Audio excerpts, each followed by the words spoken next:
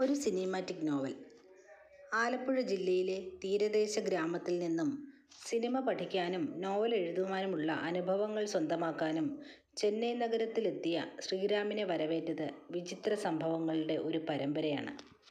അതിൽ പ്രണയവും പ്രതികാരവും സൗഹൃദവും യാത്രയും സിനിമയും എല്ലാമുണ്ട്.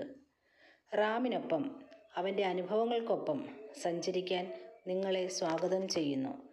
ചെന്നൈ നഗരം ഉങ്ങളെ അൻപുടൻ വരവേർക്കുത് എന്ന് പറഞ്ഞുകൊണ്ടാണ് നമ്മളെ ഈ കഥയിലേക്ക് കൂട്ടിക്കൊണ്ടു പോകുന്നത്.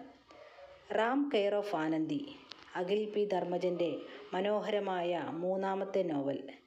ഇതിലെ പ്രധാന കഥാപാത്രങ്ങളായ റാം, ആനന്ദി, രേഷ്മ, വെട്രി, പാട്ടി തുടങ്ങിയവരാണ് പുറം കവറിൽ കാണുന്നത്. എന്നാൽ ഇവരിൽ നിന്നും ഒരു പടി മുന്നിൽ നിൽക്കുന്ന മറ്റൊരു കഥാപാത്രമുണ്ട്. ട്രാൻസ് കമ്മ്യൂണിറ്റിയിലെ മല്ലി.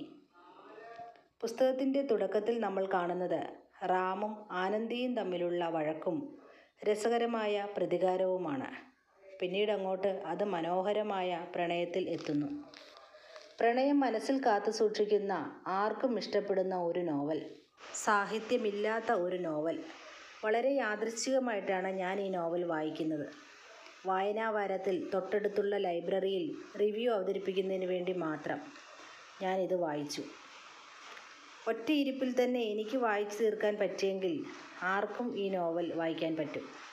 വായന എന്ന ശീലം തുടങ്ങാൻ ഈ നോവൽ വായിച്ചു തുടങ്ങാം.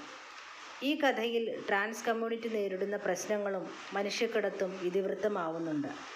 ഒരു സിനിമാറ്റിക് നോവൽ എന്ന് അഖിൽ പി ധർമ്മജൻ അവകാശപ്പെടുന്നതിൽ പൂർണമായും വിജയിച്ചിട്ടുണ്ട്.